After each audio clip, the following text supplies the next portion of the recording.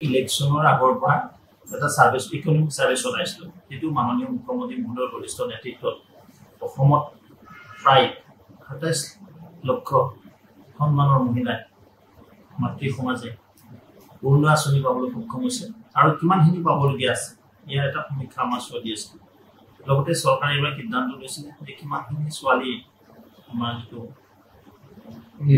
নিযুত মইনা আঁচনি অসম চৰকাৰে কৰিছিল তাৰ আধাৰত আমি দিব পাৰোঁ। সেই নিমিত্তে আমি প্ৰতিটো বুথ স্তৰত কিছু সমৰ ব্যৱস্থা কৰিছিলোঁ। ঠিক তেনেদৰে যিখিনি আমাৰ উঠি অহা প্ৰজন্মৰ যুৱতী যিসকলে এইবাৰ উচ্চতৰ মাধ্যমিক বিদ্যালয় শিক্ষান্ত পৰীক্ষাত পাছ কৰিলে যিসকলে মাষ্টাৰ ডিগ্ৰী কৰি আছে তেওঁলোকৰ এটা সমীক্ষা চলোৱাৰ মানে আমি ফৰ্ম পঠাইছিলোঁ আৰু সেই ফৰ্মখিনি ইতিমধ্যে আমাৰ কাৰ্যালয় আহি পাইছে।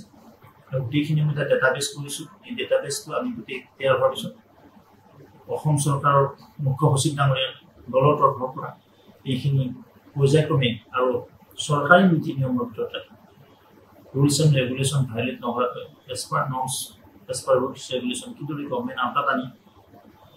লগতে আমাৰ যিখিনি নামঘৰ আছে উপাসনাস্থলী আছে এইখিনিৰ কাৰণে আমাৰ এটা চাৰ্ভিছ চলিছে। ইয়াৰ উপৰিও আমি যোগাযোগ যাতায়াতৰ কাৰণে গ্ৰামাঞ্চল এতিয়া বহুখিনি ৰাস্তা কৰিবলৈ বাকী আছে। এই ৰাস্তাখিনিৰ কাৰণে আমি তদন্ত চলাইছিলোঁ বা আমাৰ চৰজমিন হেৰি চলিছিলে চাৰ্ভিছ চলিছিলে এই গোটেইখিনি আমাৰ হাতত আহি গৈছে। গোটেইখিনি কথা আমি লিপিবদ্ধ কৰি এটা ডেটা ডেটাবেছ তৈয়াৰ কৰি এইখিনি মাননীয় আমাৰ মুখ্য সচিব ডাঙৰীয়া আমাৰ মাননীয় মুখ্যমন্ত্ৰী মহোদয়ৰ আমি এই আমাৰ যিখিনি ৰেকৰ্ড এই ৰেকৰ্ডখিনি আমি চাই ছাবমিট কৰিম। আৰু নিশ্চয় আমাৰ বিশ্বাস আছে মুখ্যমন্ত্ৰী মহোদয়ে পৰ্যায়ক্ৰমে এই কামখিনি হাতত ল'ব কিন্তু এই সময়ছোৱাত বিৰোধীৰ পৰা বিভিন্ন বিৰোধীটো মিছা কথা কৈয়ে ভোট লয়। কাৰণ খাটাখাট খাটাখাট বুলি কৈছে। অসমত চাৰি জুলাইৰ পিছত খাটাখাট কৈছে আকৌ। এতিয়া ফটাফট ফটাফট পলাই গ'ল ইয়াৰ পৰা কংগ্ৰেছ।